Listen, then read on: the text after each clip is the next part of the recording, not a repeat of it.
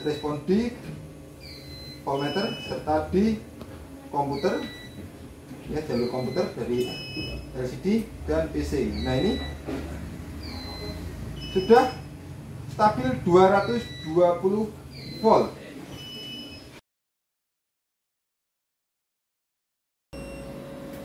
Ini kita ada paket smart inverter untuk backup kantor server.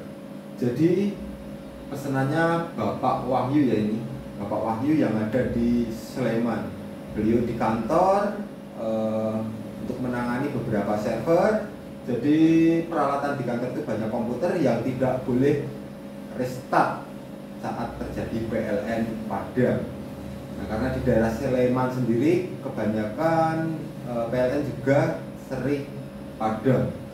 Nah, di kantor itu ada juga genset yang selama ini untuk backup. Nah, tapi kan kalau pakai genset itu jeda PLN padam, hidupin genset masih repot dan pasti ada jeda beberapa menit. Nah, jadi sistem ini kita buat untuk menggantikan genset dan kita buatkan juga untuk sistem charging dari genset jadi saat PLN padamnya ini lama bisa 6 jam, 10 jam untuk sistem daya bisa disuplai dari genset nantinya dengan melalui ini ya sistem charging berkapasitas 6000 watt sesuai permintaan karena beban di kantor ini 4000 sampai dengan 5000 dibuat secara kontinu. Nah ini kita mau jelaskan dulu sistem smart inverter. Jadi tampilan depannya seperti ini berkapasitas 10.000 watt. Ini indikator inverter PLN, tegangan PLN kita. Ini pengaturan di menu. Untuk tampilan dalam cukup simpel seperti biasanya ya. Di sini ada blok pengaman serta blok ATS semua sudah kita kasih keterangan kita akan coba simulasikan semua sistem kita matikan dulu off close off. Langkah pertama menghidupkan mesin ini pastikan jalur baterai sistem 48 volt terkoneksi dengan benar di terminal blok ini negatif positif dan inputan PLN juga benar ya fase netral, output beban juga fase netral. Nah ini sudah terkonek untuk baterai. Langkah pertama ini ada MCP soft start. Oke kita on kan sesaat, baru kita aktifkan MCP DC yang utama. Biar kapasitor yang di sini terisi dan baterai tidak protek. Bisa lanjut aktifkan MCP, MCP, MCP. Nah MCP ini ada tiga di sini. Ini MCP charging ini MCB inverter, ini MCB PLN, ini kontaktor inverter, kontaktor PLN dan relay over switch. Di sini kita tambahkan sistem COS. COS ini bekerja sebagai emergency saat terjadi kendala di mesin ya. Jadi kita langsung bisa bebas. Dan kalau ke bawah seperti ini, output yang keluar adalah PLN. Nah, kalau ke atas, nah sistem akan bekerja secara otomatis nanti kita aktifkan tombol depan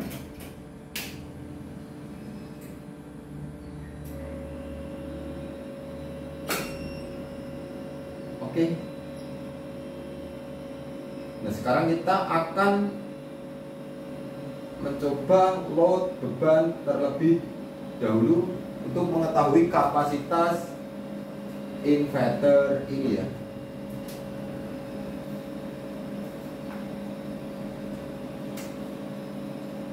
PLN kita lepas dulu karena ini memang dayanya gede. Takutnya nanti berpindah PLN dan PLN tidak kuat.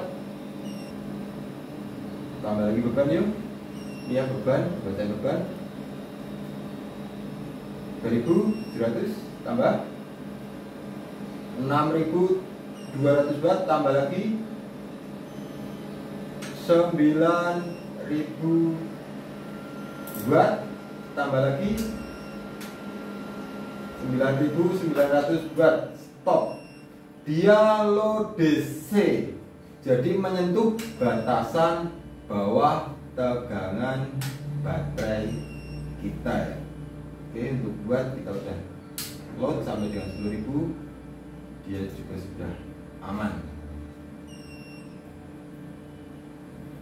Nah, ini karena dia belum on kembali karena belum menyentuh tegangan batasan atas. Kita akan turunkan batasan atas. Di 49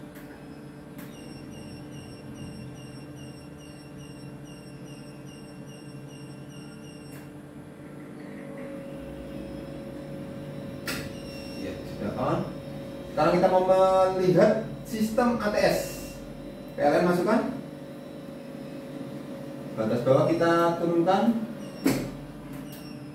Kita naikkan batasan bawah. 49. Ini beban bola sama global di osiloskop.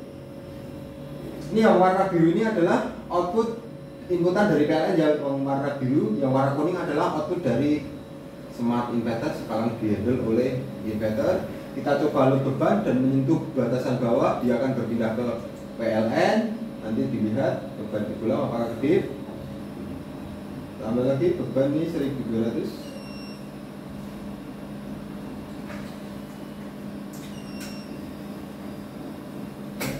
ya. Dia sudah berpindah ke PLN melalui mode sinkron beban di bulan tidak gede sekarang kita mau simulasikan. Ini sudah berpindah lagi ke meter karena menyentuh tegangan batasan atas sekarang kita mau simulasikan untuk eh, PLN padam jadi kita arahkan sistem ini ke UPS ya. Karena ini fungsinya untuk backup. Di pengaturan kita buat sistem UPS dia nanti yang kerja terus menerus adalah PLN. Di inverter hanya sebagai backup saat PLN padam.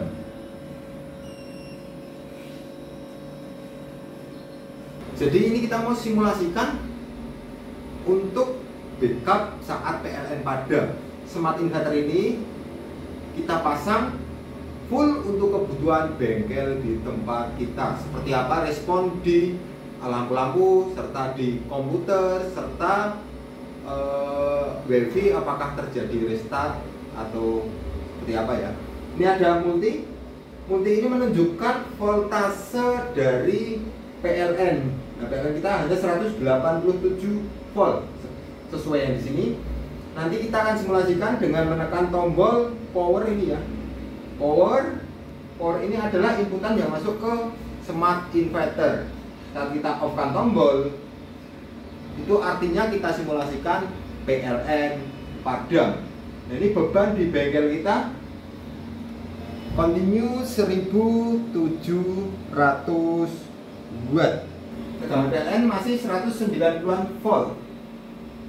Nanti masih pin akan mengoperatori di sini untuk menyimulasikan terjadi PLN padam dengan menekan tombol switch inputan PLN yang menuju ke smart inverter. Dan kita mau lihat respon di atas di komputer seperti apa. Monggo Mas Ipin, lanjut. Kita mau melihat responnya. Nah, ini jadi seluruh beban smart inverter menghandle ya untuk lampu-lampu untuk roda-roda ini untuk produksi juga di bawah juga untuk produksi trafo-trafo yang mesin bebannya 1700 sampai dengan 2000 watt untuk dan bengkel yang untuk bagian atas ini untuk admin-admin komputer dan sebagainya jadi untuk yang atas kita peruntukkan untuk komputer serta lampu-lampu ya. Ini komputer tanpa melewati uh, eh, UPS dengan tegangan sama kayak yang bawah. Ini dihandle oleh PLN 199 sampai dengan 200 volt. Nanti saat kalian padam itu tegangan akan naik ke 220 volt karena tegangan inverter kita stabil di 220-an volt. Nanti kita juga akan melihatkan juga uh, wifi ini apakah restart atau tidak. Yang bawah coba suruh simulasikan. Kalian padam. Oke, ini kita akan lanjut simulasikan untuk matikan PLN. respon di voltmeter serta di komputer ya jalur komputer dari LCD dan PC nah ini sudah stabil 220 volt. PC nggak restart tetap berjalan lancar. Kita lihat untuk uh, wifi koneksi wifi. Koneksi wifi apakah terputus?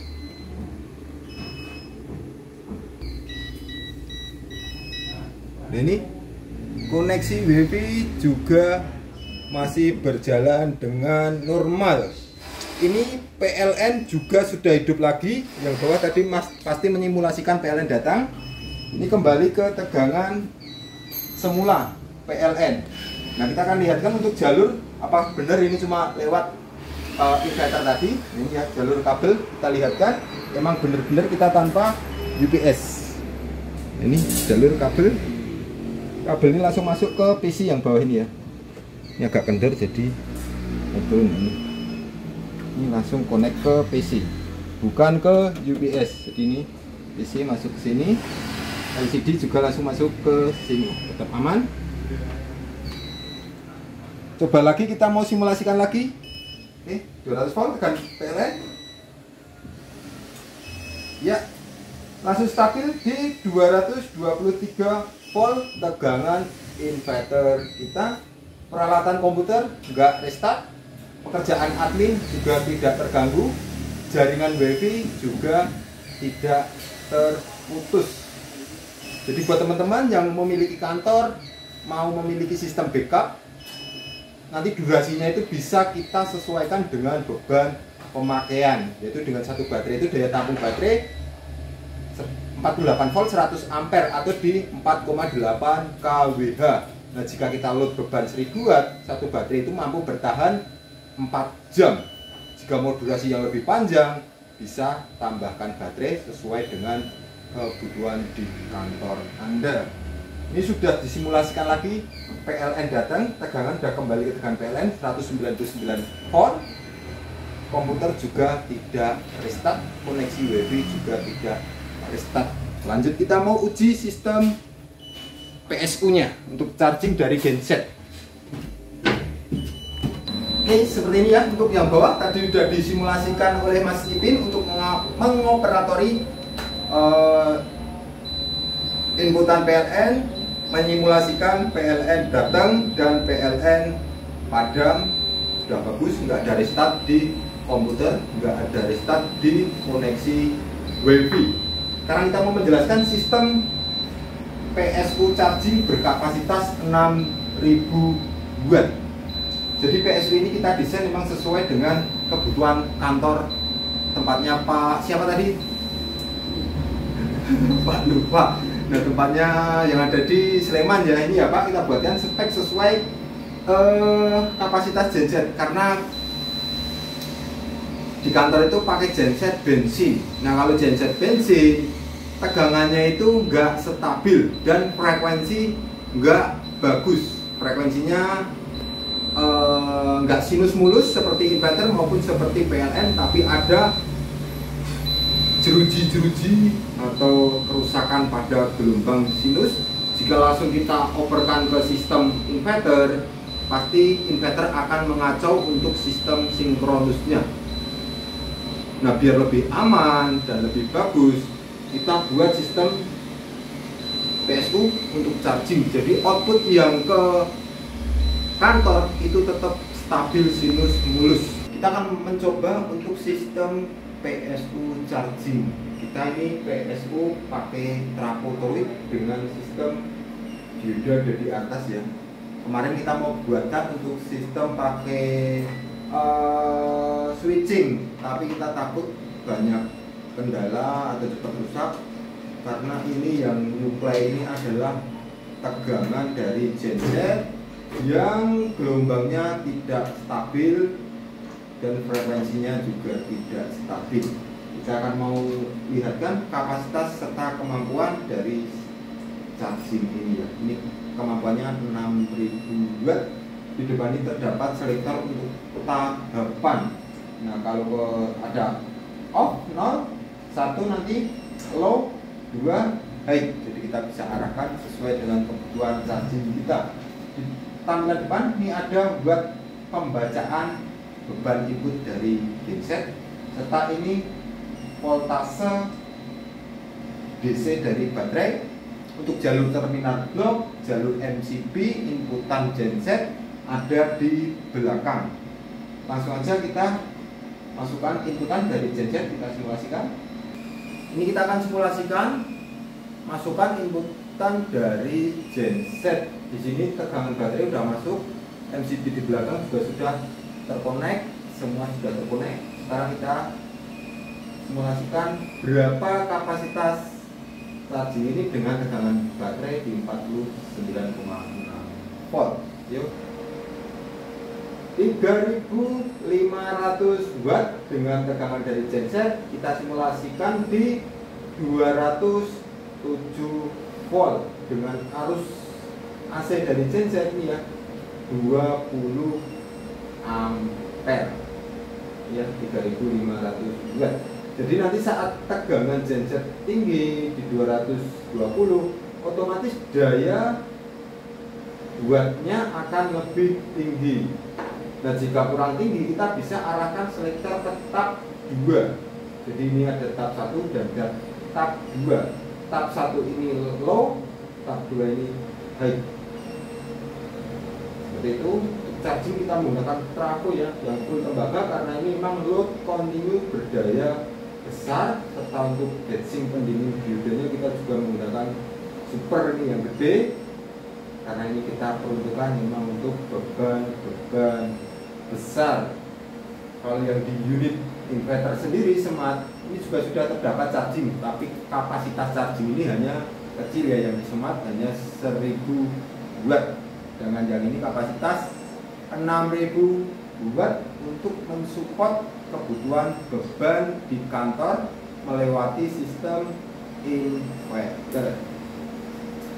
Mungkin seperti itu dulu untuk penjelasan spek UPS untuk keperluan kantor kali ini. Buat teman-teman yang memiliki kebutuhan lain untuk backup kantor, lab atau rumah sakit bisa langsung kontak kita di nomor yang ada di bawah ini atau yang ingin tanya-tanya juga bisa ya di nomor itu bisa juga lihat di link Tokopedia kita untuk produk-produk yang kita jual di sebelah sekian ya untuk penjelasan smart inverter backup kali ini. Sekian terima kasih. Salam Astro Jogja